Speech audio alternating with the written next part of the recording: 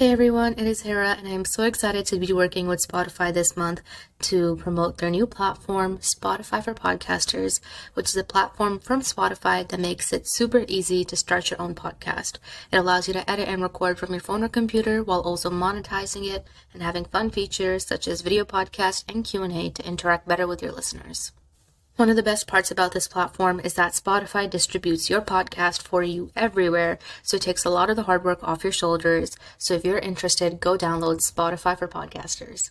Assalamu alaikum everyone. I hope you guys are doing amazing. Welcome to another super super big episode. I'm gonna try to do this an hour under, but there might be a part two or I might exceed an hour. We'll find out. So this episode is going to talk about all the different life lessons that I've learned dealing with all sorts of people of all ages, of all times of my life, whether they're in my life or they're gone. Um, and you know, this idea is really weird because like I've never seen anybody like talk about like the life lessons that they've learned specifically dealing with people. And I think one of the reasons why is because it can be a little bit messy. And I feel like for me personally, I'm gonna be very blatantly honest. I've had to learn certain lessons in my life multiple times. like not just a one hit wonder. Like no, I've had to learn some lessons in my life multiple times. And I really just want to say in the beginning of this episode like don't don't get yourself in a twist. Like I I don't care to shade people. I don't care to, you know, do any of that. Um that's not my intention. I think that the reason why this idea hit me is because one night I was sitting there I like fudge your time and I was thinking about how so many of our life experiences are revolved around people. And I was thinking about how so many things I've learned, I've learned from people, whether that's, you know, good or bad, whether that's from people and the way they behave to me or things that they've taught me, right? And whenever we say like life lessons that you learn from people, people automatically think of negative things, like bad things. And that's not always the case. I've learned some very, very, very beautiful things from the people around me. And I feel like for me personally, I value everyone in my life, whether they're here, whether they've left, because at some point they've taught me something. And I feel like it's a really, I feel like a lot of people say this, but it's really hard to internalize it. And I think I'm just like any other human being. So, of course, at times it is hard for me to internalize things like that. But especially the things that I'm going to talk about right now, are things that have happened to me years and years ago, um, for the most part, and things that has just been done, said, done over. Like it's not personal, it's not one on one to somebody, it's not like anything like that. This is just general life lessons that I've learned from people, whether they've told me this or I've learned from their behavior. This is not, you know, all that in a bag of chips and some tea.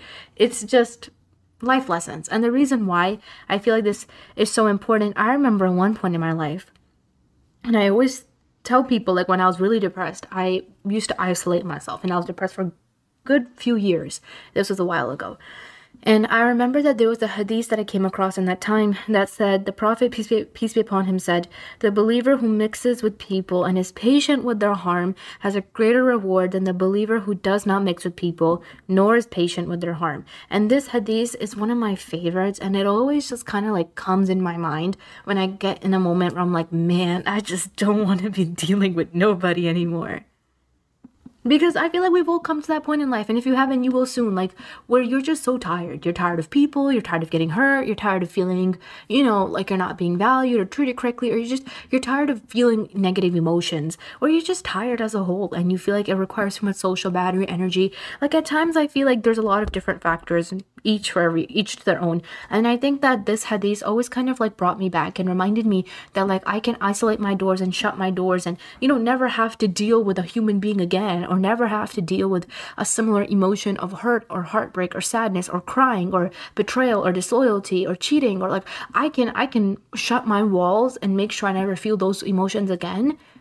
But if I'm meant to feel them, I'm meant to feel them. And if I think that me surrounding myself, shutting all my doors, living in the four walls of my room is going to protect me, it's not. Because to some degree, if something's meant for me to happen, something's meant for me to feel, it's going to happen.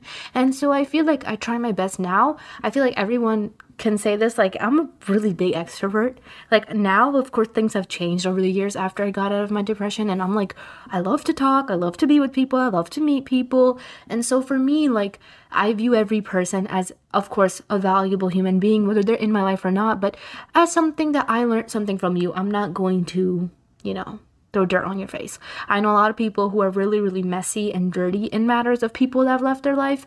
And I feel like this is my first life lesson actually Um, this is just like kind of an intro but my first one because it just fits so perfectly.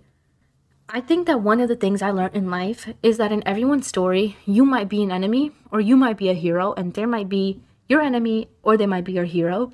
And if you happen to be the villain or the enemy and you feel like from your side you weren't, there's not a lot that you can always do to change that, okay? Memories that are shared by everybody serve the holder different. I remember I once read this quote, I think it was on Twitter. It said, Memories um, held by everybody serves the holder different. So the way that I might perceive the way you treated me might have been different than the way you perceived it. You might have thought that you did something to show me love. I might have felt hurt. And that's what I'm saying. You might have had a situation, a conflict, or whatever. Let's say with your parents, let's say with your family, let's say with your siblings. You and your siblings had a discourse, had an argument, had something that went on, you saw that matter as something insulting and offensive and something that really like distanced you apart from them.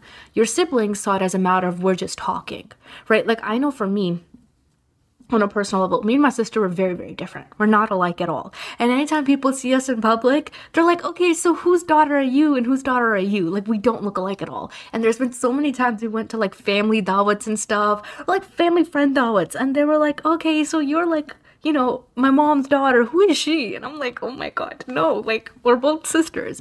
And not only do we look really different, we act very different. And so my sister is a very, very like lighthearted, like she doesn't take things too seriously type of person. You know, she might say something and then she'll be like, well, it wasn't that big of a deal. I, on the other hand, I'm really like emotional and I listen. I'm like, if you say something like I'm gonna remember it type person, she's like, you said it's gone out of my ear. Like, you know what I'm saying? And all sisters, all siblings, like we all kind of fight. You fight for 10 minutes and then like y'all are talking again. It's normal, right? And I feel like sometimes I'm the type of person that takes it way too deep and she's just like, what are you talking about? What happened? You know what I'm saying? So it's like everybody has different dynamic with the way that they perceive things. Now, of course, not talking about my sister because nothing like this has ever happened between us, but in bigger situations like dealing with somebody who might have hurt you or dealing with how your parents might have shoved you in a position. You know, I knew a friend whose parents like forced and like I'm not saying like lightly forced, like I mean like forced from like elementary and on to this pathway of her getting this specific college degree that she didn't want to do. And I'm not talking like, oh, she got into like college and her family was like you're gonna do this. No like she graduated from elementary school. I know this sounds so far back. She graduated from elementary school right? She went to elementary. And after that her parents well her parents mashallah they do a good job raising um her and her siblings. They're homeschooled. They've done islamic school a lot of different stuff. But they've specifically started to put her on a line of getting more classes and education and homeschool and online learning um, towards that specific career path. Whether that was like little elective courses or like little workshops for that thing. Like they instilled it in her mind from a young age, like this is what you're gonna do. And when high school came around, I was like well, force. Like they put her on that track, and then when college came, it was inevitable, unsaid that you're gonna get this degree. And now that she's like nearly done with her degree, me and her talk sometimes, and she says to me, I like, I hate it. I can't imagine a day in my life working as this. And what I always tell her is like, I agree with that. But when we come to a point where we're this much halfway done, it's just about finishing it and then asking yourself, what are you going to do with your own future? That's the way that I see it. I feel like I'm pretty practical about some things. I feel like some people, like, you know, you're in your last semester of college, last, you know, whatever of college, and everybody's like, and you decide you don't want to do it. People are like, oh, yeah, just chase your dreams and leave it. Well, I feel like sometimes it's practical to just go through with it just finish off the next six months. And then the discussion comes after that of what do you want to do? And that's something that I always tell my friend. I'm like, we can't go back in time now and change this path that your parents put you on. But what we can do is decide what you want to do after graduation. Whether that's you want to work in a specific field with this degree or you don't or you want to go com- some somewhere completely different, right? Like that's your decision. And we can't we can't do much about it now. Like if you want to run away halfway now when you're literally about to be done, when you're about to walk across the stage, I mean go ahead. But is that really a good like is that really a good decision? And so I feel like some people might say yes, some people might say no. We all view things differently. But what my point of sharing this is that that memory holds different for her and her parents. She sees it as her parents putting their opinion on her, pressurizing her, forcing her, feeling like she's trapped and has no option. And her parents see it as we're putting her on the right path. We're getting her a good career. We're making her stable. We're making sure she doesn't have to depend on anybody. We're setting her up for future. And again, the moral is we all hold it differently. Now, when it comes to a bigger example, I might be the villain in somebody's story. I can't change that. You know what I'm saying? When I was younger, I would go crazy to change that. And I had. Like, I remember, this was years and years and years ago, like six, seven years ago. Like, if I was ever the villain in anybody's story, anyone ever told me that I even harmed them in any way, by doing what simply was best for me, whether that was emotionally best for me, whether that was leaving something, that was the emotional best decision for me. Like putting myself first. When I made decisions that required me to put myself first and someone told me that it hurt them or I was the villain in their story because of that, I used to go berserk and I used to want to do everything to unchange that, to like, you know, rewrite the story and to be the good person. But sometimes you're not going to be the good person everybody's story, and you're better off accepting this now more than later, right? Like, and that's what I always tell people. I know that I have a lot of people that are listening that are really, really young.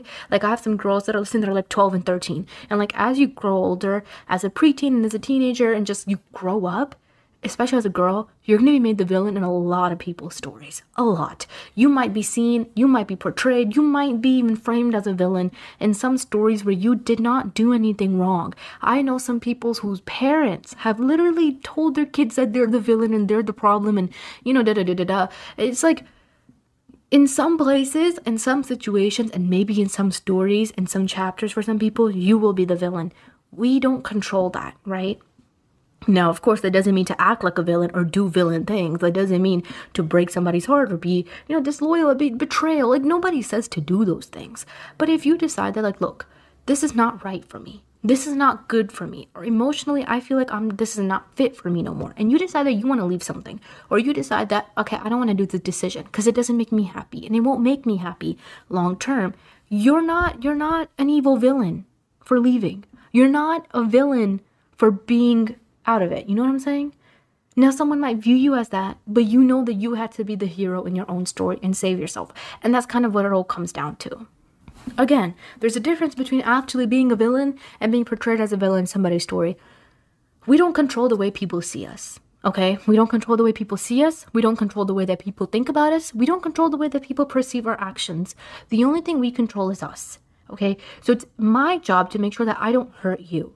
It's my job to make sure that I don't cause any feelings of betrayal or mistrust in you. It's my job to make sure that I take care of you in whatever relationship we have. But if in some way you feel like I have harmed you or I have hurt you, then I of course will try my best to take accountability and fix it and look at that. But then there's some situations where people have already made up their mind, and which is why I am a type of person that I don't like to just go snap on, make my own mind, and fill in the story. And that's one thing that I worked very, very hard on myself to do, which I'll actually make lesson number two. Don't fill in the story for things you don't know because you're gonna create your own perception, your own plot line of things that might or might not have happened, and it's gonna make you formulate your own opinions on this person or your own opinions on the situation, which quite often lead to more damage, okay, which quite often make you villainize somebody more. And that's why I feel like it's important to understand all sides of the story, yes, and also understand and come to a level that you understand that like you feel this way about me and I feel this way about you, and this is what actually happened. Nobody is lying. I'm not a liar because I said that I feel hurt. You're not a liar because you say that you think I'm the villain, right? And the truth is the truth the way that we all see truth is different, right? We see that in religion, we see that in everything. The way that me and you perceive truth is different, right? Like the way that I see truth as Islam being the truth is different than the way someone who's not Muslim might see truth. The way that I see truth in my relationship with you is different than the way you see truth in my relationship with me, whatever it might be. You know what I'm saying? Like vice versa. The way we see things are different. We're not the same. We don't have the same pair of eyes. We don't have the same pair of brain. We don't interpret things the same way. We view things differently. But it's important that in this process, of course, you are as most gentle and as kind as you can be, because the only thing you can control is yourself. And you have to make sure that you are not the one harming. You are not the one doing anything wrong. Now, if putting yourself first and doing certain decisions in a nice way, not in a way that's a complete, you know, I don't even want to like, I, I want to try, I want to find the right word for it. Um, in a complete crappy way. I guess I guess that's the most lightest word I can use. If putting yourself first requires you to do extraordinarily crappy decisions that you know is going to ruin somebody's life and make them feel betrayed and disloyal and da, da, da, then that's a problem. Like you need to figure out the way that you're going to go about things. You know like it's it's all a level of balance. Some way sometimes there's no way but the hard way and sometimes there's no way but this way. Like sometimes we can negotiate. Sometimes we can find a middle path on how we want to go about things but sometimes things have to be done the way, the way they have to be done right? And so my way your way you know, the truth or how we view things, it's different for everybody. I know some people who like genuinely, and I was thinking about this the other day. I was like, I have some friends, alhamdulillah, alhamdulillah, alhamdulillah, keep it this way, family, whoever. Like, I know people that love me, and then I know people that hate me and it's such a stark like it's so it's so heavy on both sides. It's never been neutral. I've noticed i'm rarely a neutral person. You either love me or you either hate me. And majority of the time if people hate me they hate me because i say the things that they low-key don't want people to be saying or i'm too outspoken. And i've i've noticed that and actually heard that quite a few times but that's a story for another day. Anyhow so i feel like there's no there's no in between right? Like and i feel like for me personally I try my best to be there for everybody, right? I try my best to be available and helpful for everybody. And I feel like it, it takes a lot, in my opinion, for me to kind of look at you and be like, I want nothing to do with you. I want to dissociate from you or I don't like you, right? Because even just the words like I don't like, I don't like to use that for people. Like I don't like to say, I don't like blank, I don't like blank, I hate blank. Like I feel like those are strong words. I don't like to do that. I'd rather just dissociate. So I feel like it takes a lot for me to come to that point, especially since I don't like to you know, fill in my own stories or villainize somebody because it's convenient. Like, I like to be pretty, pretty level headed in all situations to my best degree, or at least be fair and be understanding. Be very understanding. I think sometimes I'm too understanding, and that's a problem. That's another thing I'm gonna say as my third life lesson. Okay, controversial. Sometimes you have got to not be so understanding. Okay, now I'm gonna bite my tongue before you jump, and let me explain why. I have a PhD in being overly understanding. And I can tell you that a lot of times in my life, if I ever gotten hurt, a lot of it was my own fault in being overly understanding and overly forgiving. Now, here's where I'll create a difference. I believe that you should always be forgiving. I have not really had a hard time in my life forgiving people unless it was very severe. And I feel like I've faced very, very severe situations in my life where it was incredibly hard, like detrimentally hard for me to forgive people, probably three times in my entire life. Okay. I know some people who like every single encounter like that is just mm, it icks them, it irks them. They're like, I can't forgive you. I'm a very forgiving person. Like you have like you can just you can do anything, and I'll be like, mm, I'll forgive. But like I think 3 times in my entire life and I remember them very distinctly was when I had the hardest time forgiving. And one of those times was pretty recent. And so it's very very hard for me when it comes to that point because I also know me, right? Like I think just like you might know you better than anybody. If you're a very forgiving person and out of nowhere you're having a really hard time forgiving, no offense, you know that something went on something went down that brought you to that point, especially if you're someone that's really forgiving and not nitpicky. And so for me, I feel like I had a really hard time forgiving three times in my life in three very big situations. And what I learned is you always want to settle emotional debt on this world because you don't want to deal with it in the akhirat. And only one time in my life, only one time of those three times, only one of those times did I ever think to myself, like, wow, like, is Allah gonna be just about this situation with me? Like, what, what, what's gonna happen? Like, cause I want justice. Only one time in my life. And mind you, I've been done wrong a lot of times in my life. I've done, I've been done wrong a lot of times in my life, but I, I've never let it get to me to a point where I'm like, I'm gonna turn bitter. I'm not gonna forgive you. I'm gonna be a negative Nancy, and I'm gonna hold a grudge and put up my walls. Mm, I've never, I never let those things change me because I think that one of the most beautiful things in everybody is like their spark and who they are. And like I never want to lose that or give that up because of somebody. But only one time of those three times in my life did I ever sit there and I thought to myself, like, I want Allah's justice to come. And I was really hurt. I was really hurt. It was a really hard time. And now I think about that situation, I just think about, you know, the way that I feel, and I'm like, I genuinely do make good dua for those people. I make good dua for those situations. Um, like I said, like I've been done dirty quite a few times in my life. But three times in my entire life was when it got really detrimental, where I was like, wow, like, mm, that was messed up. And when I look back at the at the steps that brought us here, a lot of times it was because I was too understanding. I feel like one of the big things that I would always tell people, especially as a girl, is that you can be understanding and you can be forgiving. But that doesn't mean you always have to give people more chances to be in your life. You know, I feel like a lot of times when we're like, oh yeah, I forgive you, but you don't have to, you can't come back in my life, it seems a little mean. It seems a little harsh. But now that I'm older, I'm like, "Mm mm it's just a boundary. It's a barrier. And if you don't set up a boundary or barrier, people will run you over and eat you up. And that's just that. So at times, yes, you do have to have a boundary. You do have to be a little bit stern. And let's say somebody hurts you and they apologize and you set up a boundary and you're like, you can't come back in my life again. I forgive you, but I want nothing to do with you. They might villainize you. They might villainize you and make you the villain in the story and be like, oh, it was you. You're the problem. I know a lot of people that went through that. Mm-hmm. Again, memories shared by everybody holds everybody different. You know why you did it. You did it to protect yourself. They might have felt different ways. Whatever. Like, I just feel like in some situations, it's better to not be overly understanding. Now, needless to say, I know that right now, I feel like, in my opinion, if I was to say a general trend, I think us as people right now are very under understanding. Like, we don't want to understand people. We constantly want to jump the gun. We constantly want to, you know, be very, be very nitpicky, over assumptiony, other ease. Like, you just really want to be, you know, really just like all about you, you, you, you. And I don't agree with that. I think that there are certain situations where you should be understanding. But at one point or another, you have to look and think is the fact that I'm being really over understanding something that this person might be using to manipulate me with? Because that happens. It happens very often. Where sometimes, if you're a really understanding person, people might use that to manipulate you. I don't really like to throw the word manipulating and toxic around like that, but people might use that to control you and they might do crappy things and say, well, you should understand my point of view. Well, you should understand mine.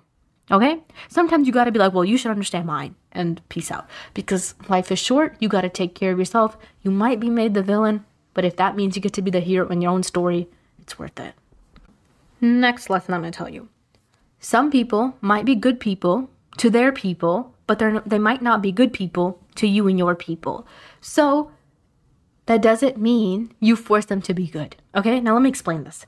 So, a lot of times I've seen this happen, you know, in not really with me and my family, but I've seen this happen with one of my closest friends. I've seen this happen with a lot of people where, you know, they might have relatives, they might have their own family members, which are really good people, distant family members, cousins, whoever, might be really good people, okay? Good people.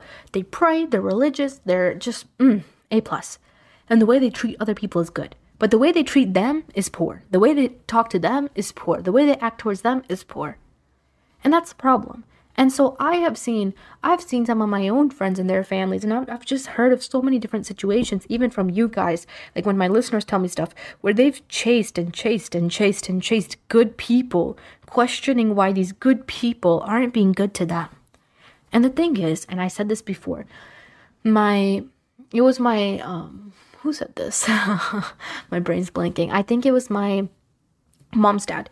And my mom always says this now. My mom always mentions this. She says that people aren't bad, it's the relationship we have with them that is. It was among those lines. And I always remember that now because you can be with some good people, but the relationship you have with them is bad. And this comes back again to number one. Like, you can be the villain, they can be the hero. We don't control how people see things. But at the core of it all, it's really, really important to remember that, like, if somebody's a good person, but they're not good to you, you know, don't don't do a whole brain dissection, life dissection, psychology dissection, psychoanalyze the situation and be like, why are they just not good to me? Don't take it personal and be like, is it about me? Am I not worthy enough? Am I not good enough? Am I, am I not pretty enough? Mm-mm, don't think like that. Um, what it comes down to is the fact that sometimes it's it's like clear as day, right? Like sometimes it's very simple. They might be a good person. They might treat other people good. But maybe you and them, their relationship is not good. Or maybe the way they treat you is not good. And that can happen for various reasons, right? Everybody has red flags. Everybody's a little bit toxic. Everybody has some issues, right? And if you think you don't, that's yours right there. So everybody has some problems, right? And it could be that maybe those problems come out a lot more when they're with you. That doesn't mean you have to put up with them right a lot of times i know women this is this is sad because this is not something that happened like this is not a far distant story. I know this person like firsthand almost, and it's just mm, I don't I don't, I don't like to think about it. But I know some women who have lived and are currently in like marriages that are not good. Like I know some that have left abusive marriages. I know some that are not in abusive marriages, but they're just in loveless marriages. Like loveless. Like there's nothing more to it, right? And they just feel like, well, look, he's such a good guy, and the way he treats his family, and the way that he treats, you know, his community, and da da da da da. Like, he's a good guy, but he's not good to you. Like, I know some women that got abused, and now, alhamdulillah, they're out of it. But they were like, but he was so good, and he was so, like, well off, and so, like, in public, like, everybody used to see him and compliment him. But I'm like, but when he used to come home, how he used to treat you, and what he used to do with you, is all that matters. That's all that matters. It doesn't matter what other people think of somebody, right? Because that's not what's going to make your relationship with them. For example, let's say, you know, you have a friend and everybody loves this friend. Everybody says this friend is the best friend. You know, she's flawless. She's just mm, A1, top 10. Like, she's just perfect, right? This friend. Everybody loves her. But that way that that friend treats you isn't good. You know, that friend might gaslight you. She might say rude things. She might be really condescending. She might, you know, she might put you down in like weird ways that affect you. Or she might just be very blatantly rude and gossip and hurt you and just drama. Like she might not be a good person. But everybody on the outside loves her. And so you start to kind of get a little bit trippy about it. And you're like, well, why does everyone like her? Why does everyone see something good in her? She isn't good to me. I don't see it. Everybody says she's kind, she's caring, and she's loving, but she isn't kind or caring or loving to me. She's mean, she puts me down, she gossips about me. She isn't any of those things. But then you stick around and you deal with it because you're like, well, everyone else sees it. There has to be something there. The collective image doesn't always mean that's how the individual image is going to be, okay? So write that down, put on your forehead if you need to. The collective image doesn't always mean that the individual image is going to look like that. Just because someone collectively in public, in community, in your wherever has a really good image does not necessarily mean that your interaction one on one with with them is going to be like that. And that goes the same with bad people. Some people have a really bad image. Maybe they've gotten slandered on for things that aren't even their fault. And when you get to know them, they're great people. So we can't just go off of big collective community images, right? I know people who have again been there, seen there, done that. And we even see this in the life of the Prophet, peace be upon him, how he, so many people didn't like him. So many people thought that he was a sorcerer, he was a magician, he was doing this, he was doing that. So many people just thought so poorly about him. But if we went based off the collective image, things would be very different today. But clearly it wasn't that. The Prophet, peace be upon him, on who he was as an individual, was beyond what they said. He was chosen by Allah. And so it's like if you if you just constantly go off of this collectiveness, on even your day to day people, it's mm-mm, mm-mm, not good. The next thing I'm going to tell you on a lighthearted note everyone has a different way of feeling loved and cared and valued for. And I think that if you are serious in any relationship or friendship or family relationship, it's your job to figure that out, right? I think it is. Um, I think that there's some things that obviously could be blatantly said, like, oh, I feel the most loved and valued and cared when you do this for me, or when, you know, you understand me this way or you know like there's some things that we can say and then there's some things that are unspoken and like unsaid right? And that's what you learn. I think that the most beautiful thing about relationships with anybody with your family your friends um i i especially believe with your family is that you get the chance to learn about this person, to know this person, especially in your family, and I'll tell you why. I think I've talked about this before, but a lot of times people make this mistake where they just view their family as their family. So, like, that's my mom, that's my dad, that's my sister, that's my brother. But they don't actually take time to learn about their family. Like, who is my mom outside of the role of her being my mom? Like, who is she really? Have you thought about that? Like, have you thought about your mom and been like, who is she? You know?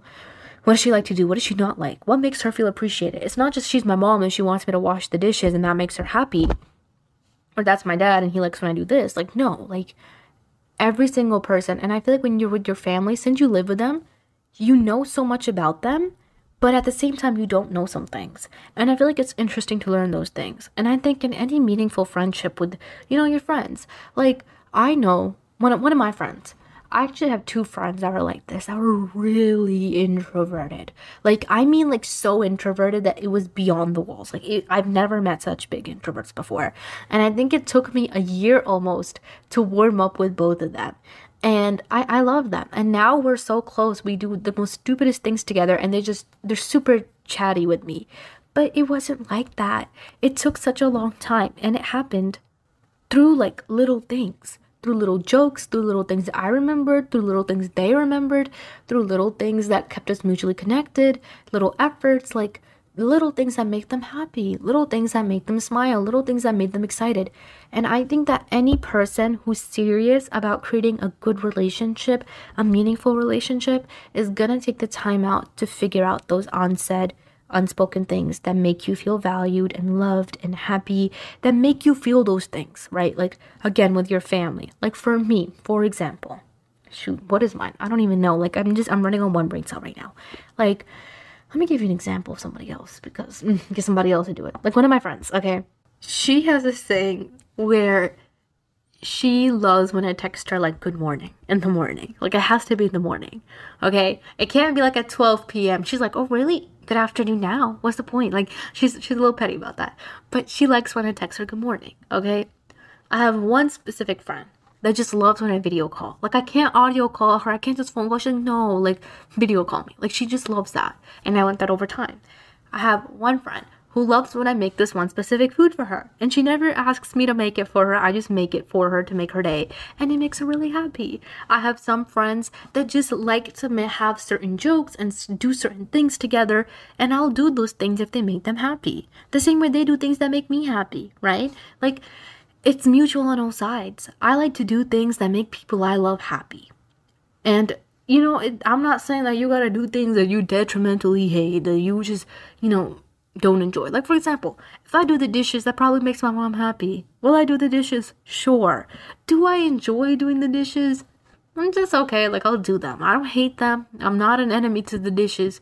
I don't love them. You know, like, oh, okay, it's fine. I'll do it. You know what I'm saying? There's been times when my mom has said to me, like, hey, Hira, can you do this? Can you do that? I'm just like, ugh. Okay? And maybe I don't enjoy doing those things, okay? Like, but it's fine because I'll do it because I know it might make her happy. And same thing goes with little things. Like, I know with my sister, she loves to talk and she just likes when someone listens to her. Like that's what I'm saying. Like if you remember and notice these little things about people, um, of course people that are also doing it for you, like a good healthy relationship and you want to build on your healthy your current healthy relationship, or you want to form a new healthy relationship, focus on the things that are said, but also focus on the things that are unsaid that makes this person feel valued. Because when you make someone feel valued, you remember what they said, you remember how they feel, like that that makes them feel like you're involved in the relationship right? And I think it's important to do that in general. I think that's a basic necessity. I think it's no offense. Sometimes I think it's the bare minimum in some some relationships, right? Like with your partner, like it's just I'm sorry, it's kind of like the bare minimum. Like it is, you should know those things, right? But all in all, I think it can make someone feel more secured. And I think that's one of the really most important things, um, which is going to be my next lesson. But before I move on to my next thing, if you don't know already, now you do, that this episode is sponsored by Rabata. Y'all know that I don't promote things really often on my podcast, but I did work with them last school year.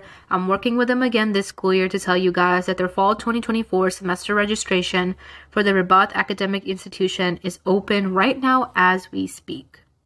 The Ribaat Academic Institution provides a wide range of courses for women to take on traditional Islamic knowledge for women, by women, all online, which is honestly one of the best things. Like I always say, that as a girl, I think there's a different level of connection and learning and questions that you're able to ask and do when it's a female scholar. And one of the best parts is that all their courses are taught by female scholars whatever it might be. So I think that's really beneficial as a girl. I remember I did an episode where one of their amazing scholars came on and talked about the fiqh of menstruation. And I feel like these type of topics are so important to talk about. And I think it's just important uh, in general as a girl to learn from female scholars because it's a different level of connection for sure.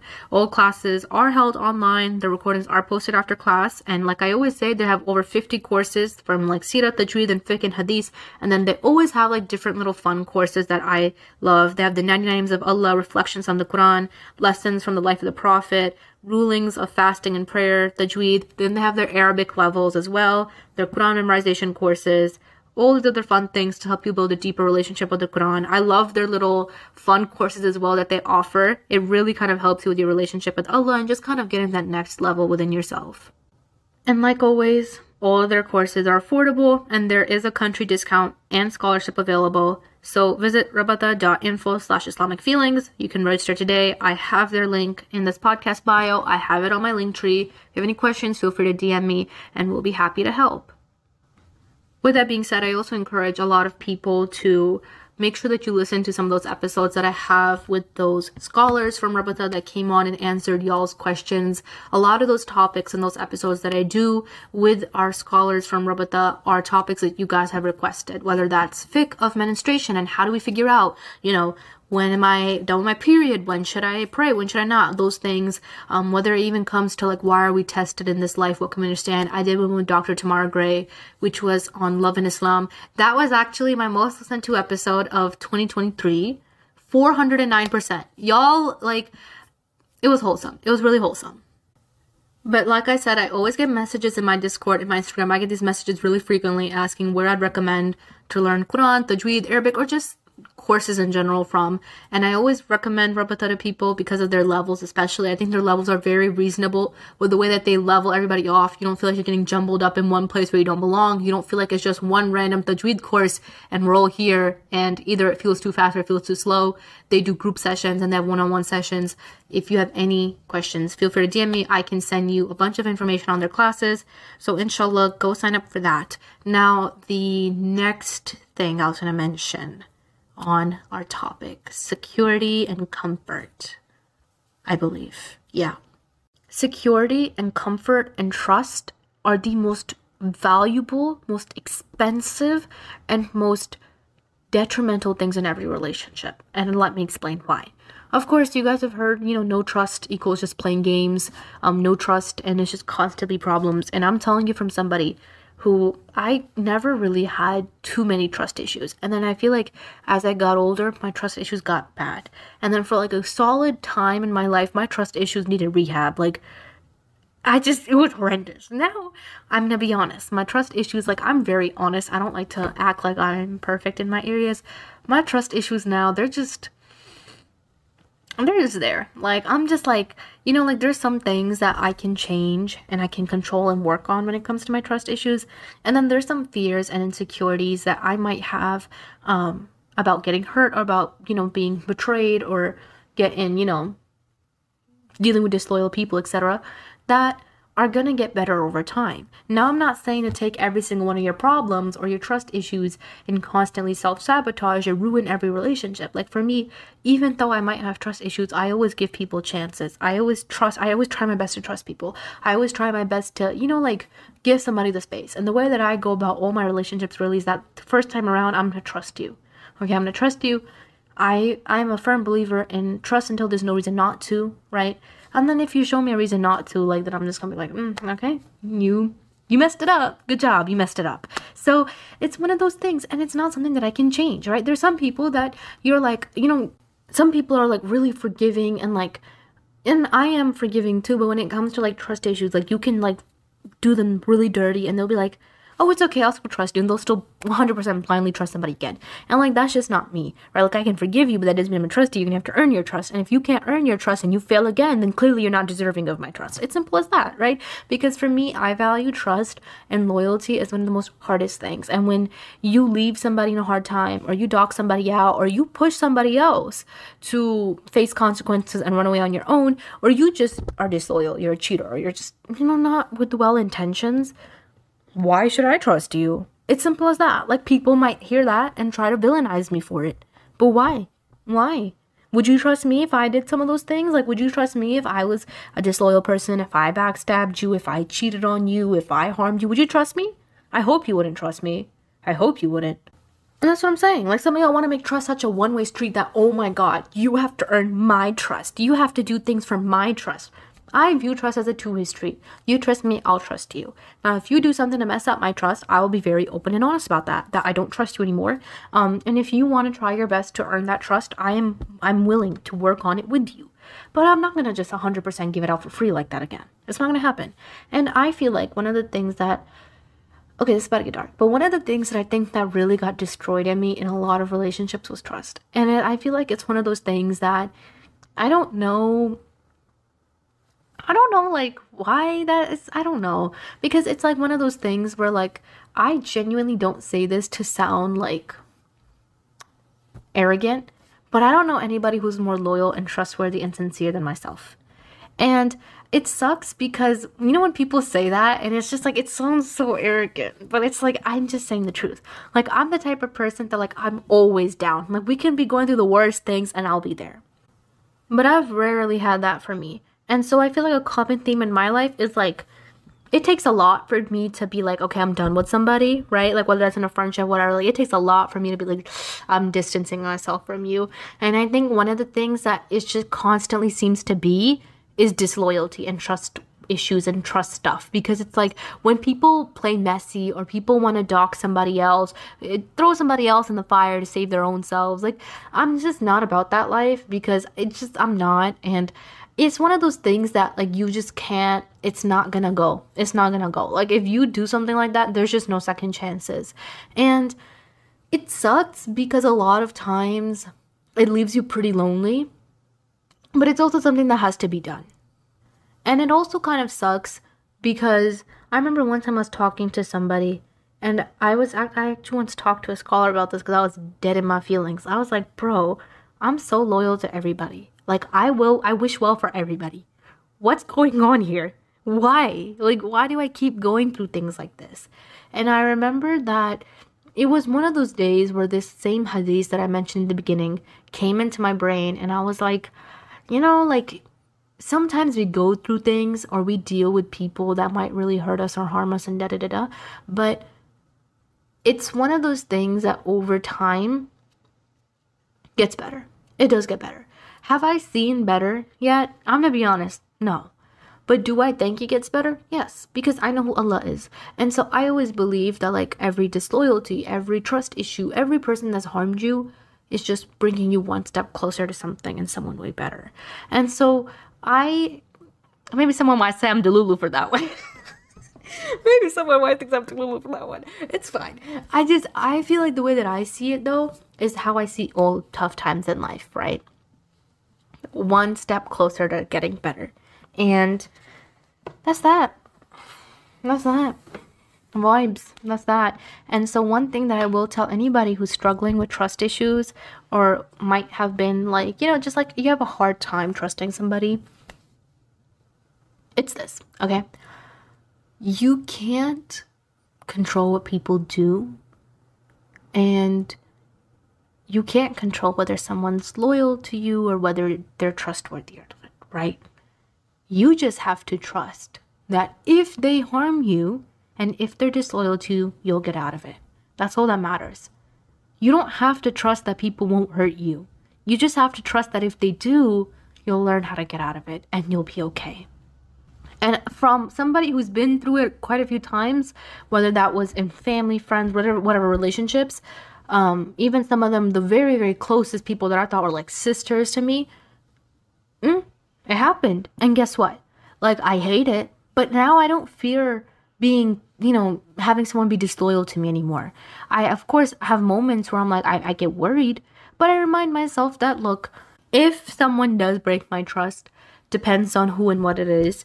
Some things are redeemable and some things are not, right? Like, some things, it just depends on damage control. It depends on what you did, right? Some things are fixable, some things are not. And I can't trust you 100%, but I can trust that I can get out of it. And that's because I know that Allah subhanahu has helped me get out of this plenty of times before. And when you get to that mindset things change. So it's like you don't hold on and cling on to people, which is going to be my next lesson. It's really hard to let people go until you do it, and then you wonder why you didn't do it sooner. And this isn't like shade or being salty or being bitter towards anybody or anything like that. Just in general, I say this for everything. I say this for situations. I've said this for years and years and years. I'm pretty sure I've said this in some of my beginning episodes that I released when I used to like record in my closet, okay? Like three years ago. Sometimes the hardest thing to do is let go, but then once you do it, you wonder why you didn't do it sooner. You wonder why you didn't set yourself free earlier. I remember I once said in this episode how we love birds, right? Like I, I love a good bird. I love birds. And like you know how people keep pet birds? I'm like, why do and I always think this and I remember I said in an episode, I said, I'm like, why do people keep pet birds? Like why do you keep a bird locked up in a cage? How is that fun? How is that fun for the bird? How's that fun for you? That's just my opinion. And I just feel like when you love something, you set it free, right? And so I know it's a real analogy, but like when you love something, you set it free. So it's like, I feel like some things are like that. Some things are like birds. Okay, some things are like that. Like if you love something, you set it free. Like people that keep like different things like as animals. Like I, I, get a cat. I had like eight cats before I found out I was allergic to them. Sad story for another day. Not for today.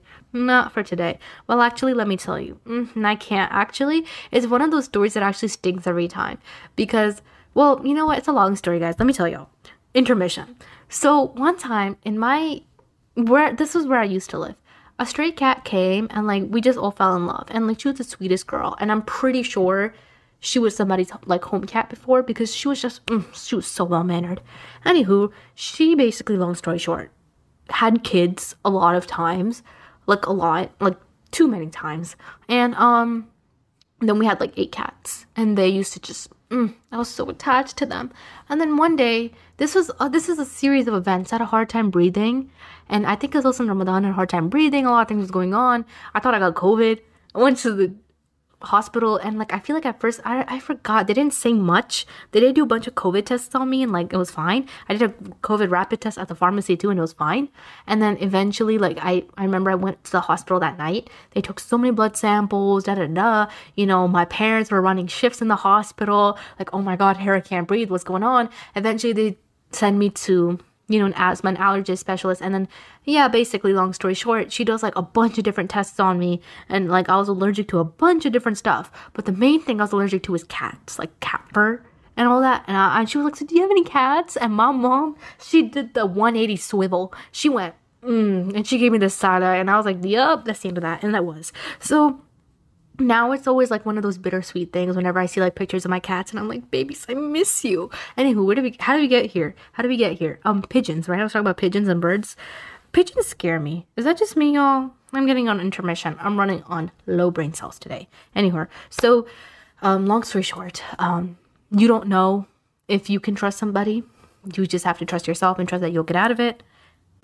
And if you see that something has hit the rocks, then, you know, like think about leaving Letting go is the hardest thing until you do it, and then you wonder why you didn't do it sooner. Some things set you free. Some opening up some windows gives you fresh air. I know sometimes you might think you want to trap and keep something. You might want to like hold on to something. But Allah has something a lot better for you on the other side of you resist of your of your resistance, right? Like I always say this. This will be my next lesson. Look at how it's flowing in today. Flowing in. On a real note, resistance kills relationships. I'm telling you firsthand, I'm telling you, resistance is going to kill. Resistance does. I understand that in some cases we all want to, you know, idolize a beautiful middle stance and make this middle stance more rational and more fair and be like, well, you know, middle ground, we can both come to terms and meet on this. We idolize a middle ground very often and it's like a moral superiority thing. They're like, look, let's just both meet in the middle and put our things aside. But sometimes that's just not how it's going to work. I read a quote that said, Virtue is not synonymous with neutrality. Sometimes integrity demands a choice. And that's what I'm saying. Sometimes there comes a time in some things where, look, maybe we can meet in the middle. And then sometimes there's there's something you just can't right? Um and i feel like growing up i also idolized a middle ground a lot. I was like we can make any relationship work if we have a middle ground and you should be understanding and you should have a middle ground and i agree there could be a middle ground. A lot of things could be solved by a middle ground but when a middle ground forces you to put away who you are and your identity and your whole self and you feel like you're walking on eggshells because you want to keep someone in your life but you wanted to agree to a middle ground it's not worth it it's not worth it. You know how they say that peace is the most expensive thing and if something damages or harms your peace, it's it's already costing you too much. Yes, if there's anything that I've learned in my life, it's that. I'm telling you, you can love something, you can care for something, and maybe you do really want to have that better moral ground and be, you know, in the middle. And I get it, I get it, I really do. And as from somebody who, like, I used to be a really big people pleaser, and even now sometimes I struggle with it, but just kind of like making sure I always keep everyone else happy around me, whether that comes at the cost of my unhappiness and you know, when you say stuff like this, people want to demonize you and be like, oh, you're so harsh, you're so this, you're so that. But this is why I'm telling you that resistance kills relationships, because let me tell you why. While there is an equal amount of resistance on both sides of somebody saying, I want it my way, and someone else says they want it their way, and yeah, maybe coming to a middle ground would be better. And in most cases, I will always support, and I'm telling you right now, coming to a middle ground on some things is better. But for some things, you should not come to a middle ground. Sometimes, like I said in our previous lesson, it's better to let go than to come to a middle ground because some middle grounds are not middle grounds. They're grounds where you walk on eggshells and compromise who you are, suppress your true identity, dumb, just dumb down your personality, you, who you are, to come in this middle ground and make other people happy. That's not a middle ground. A middle ground is not a ground where you are paying the costs every day and they're living a lot better about it. I'm sorry. And I know that people don't like to say this because again, like people they demonize you and they're like, "Oh my god, you're so, you know, ununderstanding or you lack empathy." But sometimes you have to have empathy for yourself. And some middle grounds take out that empathy for yourself because you're so stone on and committed to just wanting to keep somebody in your life or wanting to do something to make someone else happy that you'll come to the middle ground. And that middle ground still has resistance. Some things have resistance. Some things you can't get through. Some things they teach you that you have to part your ways with somebody. Some things teach you that, okay, we can overcome this and we're a lot stronger.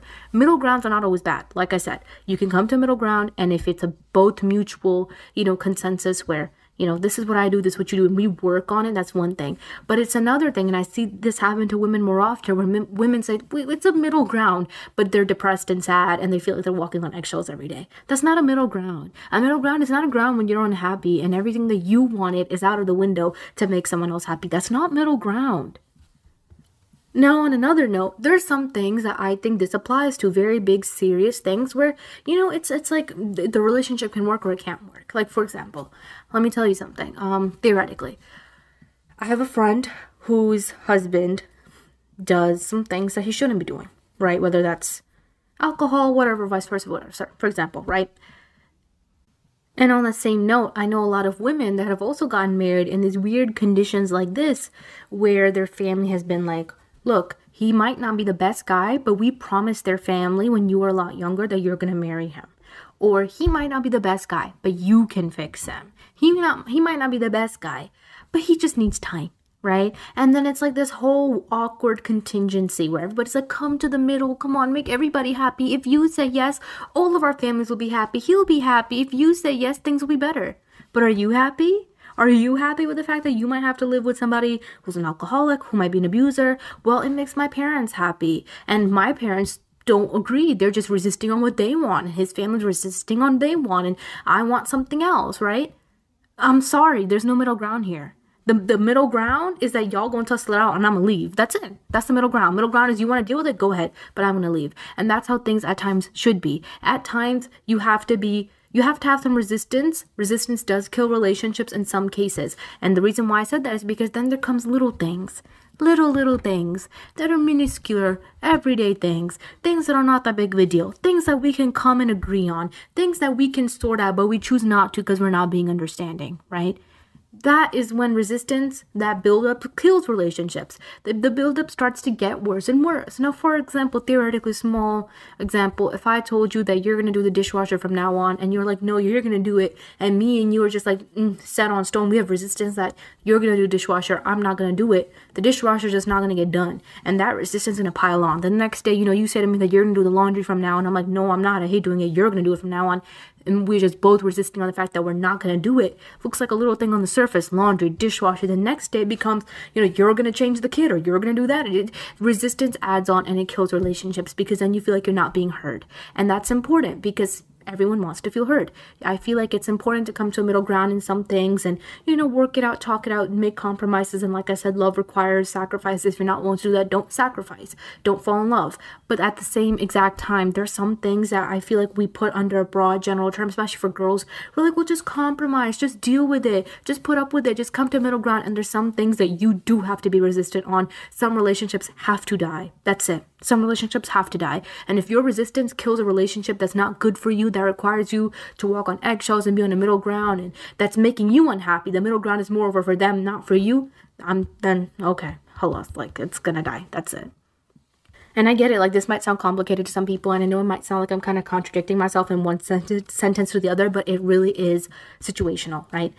Little things, little things, little things build up to be big things. But when we have big decisions, we have big things, we have, you know, things that are going to detrimental life and death affect you, right? Like you can't just say, mm, here's the middle ground. You come to it. Especially when the middle ground is just in favor of somebody else. The middle ground doesn't favor you. A lot of times people try to set up a middle ground that favors them and doesn't favor you. And then they try to make you look like the bad guy. You look like the evil person who doesn't compromise. You're not evil for not compromising on something that you know will make you unhappy or will keep you walking on eggshells or will dumb down your personality and will keep you unsettled. I know a lot of women that got married in loveless marriages and they thought that it was going to happen and love was going to happen and they're going to grow and things are to change. Nothing has changed nothing has changed. And they regret it now and they're like, I wish I didn't do that. I wish I was just resistant. I wish that this thing would have just died down on its own and I would have left because the middle ground wasn't middle for me. It was a very short end of the stick. And so that's what I'm saying. Resistance, at sometimes you're gonna have to learn how to use it. I had some people message me a few times, not even a few, I see this every week almost, where they tell me that their family's forcing them to get married to somebody they don't want to get married to, right? That's concerning. And already Islamically, you know, a forced marriage. That's not something we necessarily consider valid. So then this is where you got to be resistant that I'm not going to do this. And if it happens that mm, the relationship dies between me and whoever's supposed to get married to, or things just don't work out, then whoopsies. I'm sorry, but this is my decision, right? I also know so many girls who unfortunately don't necessarily have I guess you could say the same amount of resources and accesses, and so their family has forced them to set up men and just people they don't want to get married to. And their family's like, well, why don't you compromise and come to a middle ground? You marry him and we'll be happy. And you know, we will will be will not be mad at you anymore. That's not a middle ground.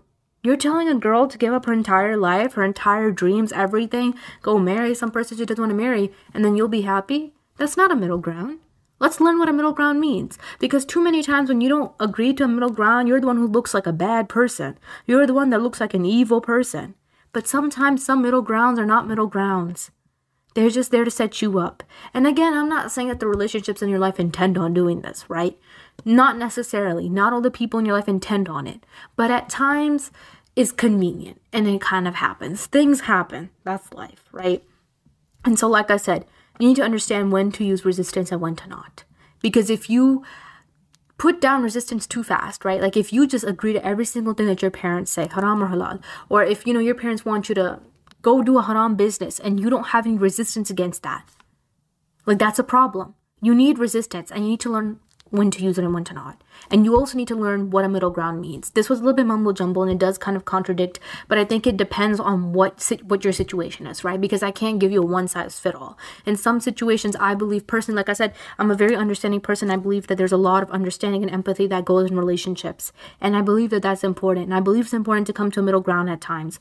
But at another time, if you see that something is sacrificing your entire life, life and death, unhappiness, da da da da da, um, abuse, so like there's no middle ground there. And like that, I remember this quote that I just said to you guys earlier virtue's not synonymous with neutrality. Sometimes integrity demands a choice. So sometimes things do demand a choice, and that's that.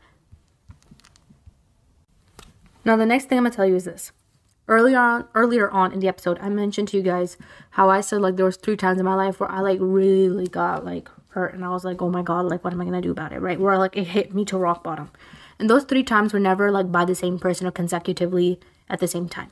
I remember one of them was, I think, four years ago. Another one was probably two, three years after that. So it was at a different time in my life. It's never been consecutively same time, same person. No. Some of those people I don't even live near anymore, right? So it's like really far apart at a very young age in my life. Some of them a little older, but thing is I haven't forgotten them, right? And that's that's because things when you hit rock bottom that way you remember that. And that's what I'm saying. I think it's important to remember at times that people might hurt you or someone might love you, whatever it is. But how someone treats you rarely has a lot to do with you and your worth, okay? Um, I think the term rarely is even wrong. I think it has nothing to do, actually. Because a lot of times, what happens is we correlate the way people treat us, we correlate the way people do wrong with us with, you know, how how worthy we are or how pretty we are or any of those things and I feel like it has nothing to do with that. It really doesn't. And y'all know that. Y'all know that already. I've talked about this a lot before. The way that somebody treats you doesn't define your worth. Cliche, but it's very true because a lot of times how people treat you is a very big reflection of who they are inside. I know you guys have heard that too, very cliche, but it really is. I would never treat you like a horrible person. I wouldn't run you over, do horrible things, gaslight, manipulate you, and you know, be like, well, I'm the one who's sane in the relationship. Lord, that don't sound sane. That don't sound right. Right? And so it's like that has a lot to do with my own inner workings on how I perceive life. I think the way that you perceive life, the way you perceive things, they impact the way you treat people. So perceive well and treat people well. That's very important. But if someone treats you poorly, it doesn't have anything to do with you. I'm telling you that from somebody who's like, those three times were like the hardest rock bottoms of my life. And I never forgot them because even though some of them was, was when I was like a preteen, I still remember it. And I'm like 20. So those things, they don't leave. They don't leave but they teach you things. And I can promise you that every betrayal, every leave, every rock bottom, it makes you so much more stronger and you find so much more peace eventually within you and yourself that is just out of this world. I want to wrap off one more lesson, and this one is going to be a heavy one, and this one might, you know, get some people angry, but I'm going to say what I think. This is not something I have been through or something I have faced necessarily, but this is something that I've seen a lot of people talk to me about, and I've seen a lot of my listeners talk to me about this, which is why I'm gonna throw this last one in. But I have heard a lot about this also from my close friends. So, potential, right? The potential you see in relationships, the potential you see in people, the potential you see in what you think your life will look like with them. Okay? With all due respect, kill it. kill every bit of a potential expectation that you see in them, that you see them providing in your life, that you see coming in your life as a benefit of them. Kill it. I'm going to tell you one thing that changed my entire life, okay? It goes among the lines of the potential you see in other people isn't real. It's the projection of what you would do if you were in their position. Okay? And that's really important to remember because at times you are so hooked on and attached to the potential of what you think they can provide you or what how you even think your own life is going to change how you think you're going to develop and just mm, become on cloud nine and become happier and better and just the potential of what you see in them and what you think that they should be doing is often what you would do if you were them you want them to go above and beyond and be loyal be consistent and you know just give you flowers every day. I don't even know. Or if it's even your parents. Like you want them to talk to you this way, treat you this way, and give you this type of love. And you're like, they have that potential. Maybe they do. But at the end of the day, we don't live in an imaginary world. I don't run myself based off of what I think you can do for me, because at the core of it all, it, it matters on what you have done for me, right? That's all that matters. What you say you're gonna do for me, or what you what I think you're gonna do for me, has nothing to do with what you've actually done for me right? Because like you can promise me a hundred things, and I've said this a lot of times before. I don't really believe promises. You can promise me a hundred things and say a hundred things to me, but until you do it, that's when I'm gonna believe it, right? And so the potential you see in other people often isn't real. You've imagined it in your mind. This is what you think this person is capable of doing. This is what you think this person should be doing, and that's probably what you would have done if you were them.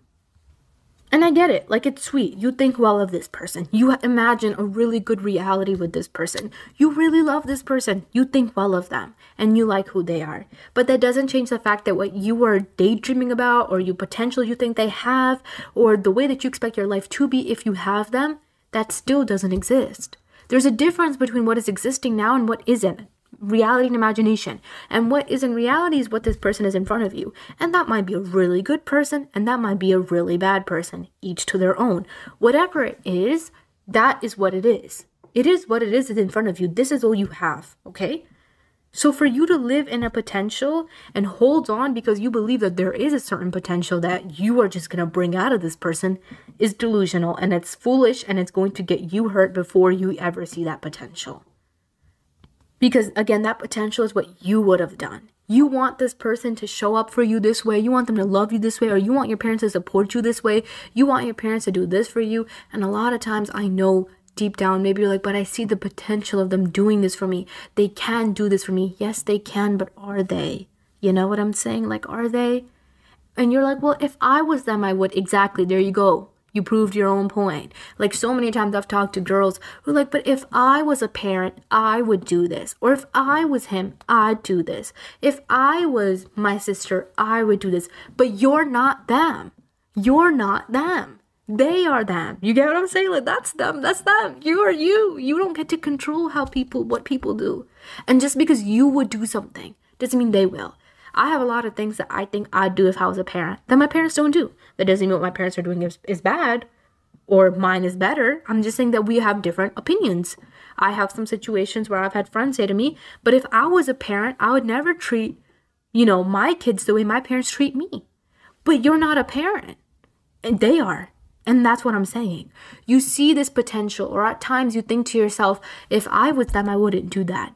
And yeah, maybe you won't. Maybe you won't grow up and treat your kids like that. Maybe you won't do that. I get it. But at the core of it all, what it is is still in front of you. And when it comes to outside of family, because in family it's a little trickier, you can't just cut off your family. That's not how life works, right?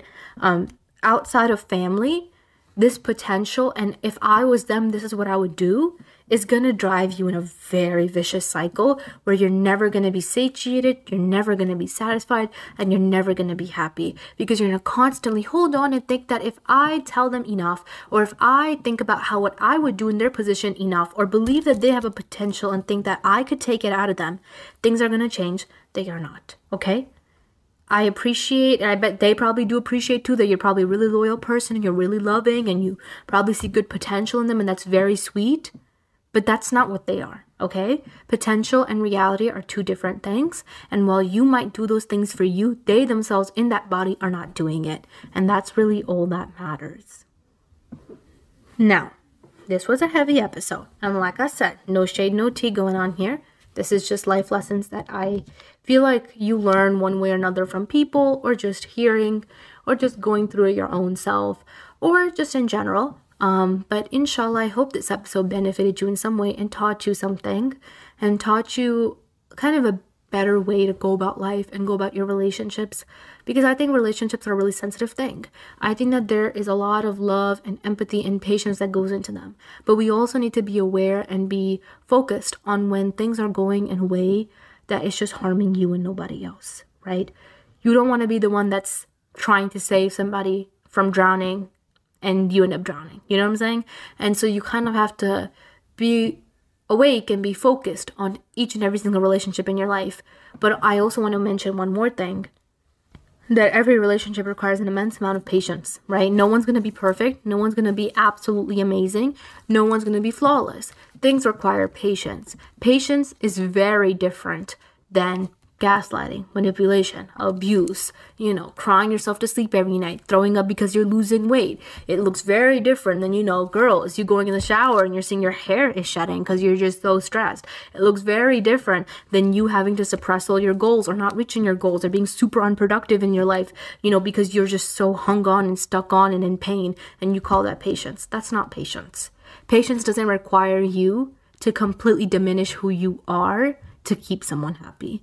Patience doesn't require you to lose a sense of identity and your goals to keep someone else happy. Too many people try to try to play those two one-on-one and merge them together and say patience is hard and it requires things. Of course it is. It is hard and it does require a lot of effort, but it doesn't require you to diminish you or you to put yourself down to make someone else happy. If the only time someone else is someone else is happy is by putting you down or when you are below, you have a very big problem. And you need to first sort within yourself what does it mean to be patient and what does it mean to have effort in your relationships. Effort is very different than putting up with abuse, than putting up with, you know, being manipulated and da da da da effort doesn't look like you crying yourself to sleep every night or biting your tongue, making sure that you say nothing to harm the other person so you can be okay. That's not what effort looks like. Effort doesn't look like you sucking it all up and bottling it up because you think that as long as you stay silent, it's to be okay. If you have to stay silent just for things to be okay, if you have to suppress your emotional needs just for things to be okay, you are in a very big problem. Do not sugarcoat this with efforts or patience we are out of the time of patience. This is uh, it gets dangerous from there. Honestly, it gets really dangerous. And like I said, all relationships require patience and effort. And you see those things and you see the way that those are nurtured in a healthy relationship and it's very different than the way that you might see in a toxic or negative relationship. So learn the difference. And the final thing I want to say is that every single relationship in our life, whether we love them, whether we hate them, whether they're with us, whether they've left us, I like to look at them and think that they're a mercy from Allah. Every single human being, in their own shape or form, somehow was a mercy and somehow was sent to me from Allah for a reason. Now, I might not, you know, necessarily love or agree or still be with this person or have this person in my life, or maybe I do love them, maybe they are with me. But in every single case, Alhamdulillah. Because if they're gone, they've taught you something. And I know that you hate hearing that. I know people hate hearing, well, they didn't have to do all that because the pain was so much, but that pain makes you so much more stronger. Allah subhanahu wa ta'ala has a reason for sending every single person in your life. Maybe it hurts right now, it sucks, you don't enjoy it, I know. But every single betrayal makes you stronger. Every single person who comes in your life makes you stronger. Every single person in your life right now who loves you makes you stronger, right? So it goes both ways. Alhamdulillah for everyone who has come, who has left. Every single person, I say this myself genuinely, every single person who is in my life and who hasn't or is not in my life anymore, I genuinely wish well for all of them. I make dua equivalently for all of them. And I don't say that to sound like a superior, you know, high complex type of individual who's sounding all arrogant. No, be- because I know how hard it is at times to do things that your body might not want you to do, right? Like I know it's probably really hard for you to make dua for someone who's hurt you. But when you do it, it's like you kind of conquer your nafs and you get a little bit ahead of that. And you get a level up and you're like, look, I'm I'm a lot better than just sitting here and wishing bad on somebody. I'm wishing them well. And that's because Allah subhanahu wa ta'ala has sent me this person and now they're gone. That's okay. And I hope that Allah subhanahu wa ta'ala takes care of them. Right? And then the people that are in your life, of course, make well dua for them and, you know, wish them well. Allah subhanahu wa ta'ala increases love between you and your family and you and your friends and whatnot that way. Make dua for them. But moreover, remember that these relationships, good and bad, are something Allah has sent in your life, right? And in one way or another, they might not look like a mercy from Allah, but if they turn you back to Allah and if they make you get closer to Allah, then this was a beautiful, beautiful test that's worth enduring. It's it's something that's going to give you good reward. Now that doesn't mean that, you know, people that have done horrible things to you, that have abused you or whatever, is just excusable and, you know, the end. That's not how it works. But what I am saying is that to your best degree, always try to forgive people always, and I always say this people that are in your life and people that have left. Because I always say this again cliche, but forgiveness really does set you free more than anything else. They might not need your forgiveness, they might not care, but it sets you free from holding on to that. Anyway, I know I kind of mumble jumbled in this episode. It's been a pretty tiring week but I hope you guys kind of got the gist of what I'm saying. Remember that everything's situational. These are not like one set fit all for everything. Everything requires different advice, different applications. Um, and I understand that, you know, it's different for everybody. Anyway, take care of yourself. Have a great rest of your day. Assalamu alaikum.